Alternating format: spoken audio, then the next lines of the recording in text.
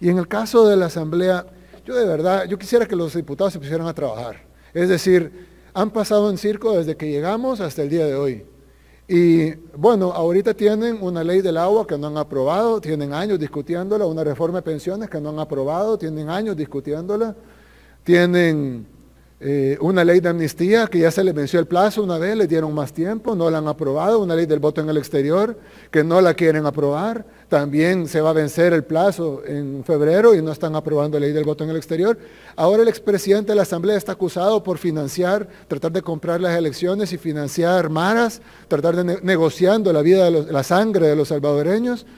Hay un antejuicio pedido por el fiscal general de la República y más todo lo que tienen que hacer. Y en lugar de hacer eso, bueno, hoy supimos de que a pesar de que la comisión había aprobado los fondos para el plan control territorial, hoy lo detuvo el Pleno. Y para los que la, gente que piensa que ya hemos recibido fondos para el plan control territorial, un solo centavo de préstamo no hemos recibido desde, desde que lanzamos esto en junio. Y desde agosto estamos hablando del financiamiento para la fase 2 y para la fase 3. Y al día de hoy no hemos recibido un centavo de financiamiento en, de empréstitos para el plan control territorial. El 100% ha sido de fondos propios porque la Asamblea, a pesar que se aprueba en la comisión, luego viene el Pleno y lo detiene. Hoy incluso, a pesar de haber sido aprobado por la comisión, por todos los partidos políticos, lo acaban de detener. Luego hicieron un minuto de silencio por, por, por Kobe Bryant, está muy bien, pero ¿y qué pasa con los salvadoreños? Es decir, ¿Qué pasa con los fondos para el plan control territorial? ¿Qué pasa con la, nueva ley que no sea una amnistía? ¿Qué pasa con la ley del agua? ¿Qué pasa con la reforma de pensiones?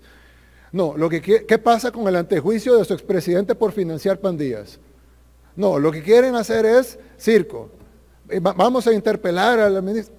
Yo de verdad yo diría, los diputados se deberían de poner a trabajar de verdad por la población salvadoreña, y no solo lo digo yo, lo dicen todas las encuestas de opinión, y lo diría cualquier salvadoreño si vamos a la calle y le preguntamos qué opina de los diputados.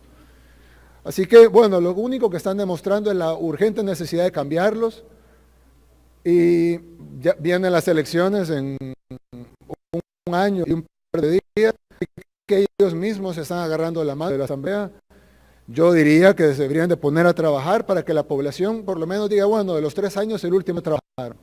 Que hasta hoy no han hecho nada para el pueblo, Lo único que están haciendo es circo, más circo, como fue la otra comisión para investigar las declaraciones del director del tejido social, que al final las terminaron cerrando cuando, los, cuando vieron que las acusaciones empezaron a caer en ellos. Ahora nos damos cuenta que los que negociaron con la sangre de los salvadoreños fueron ellos.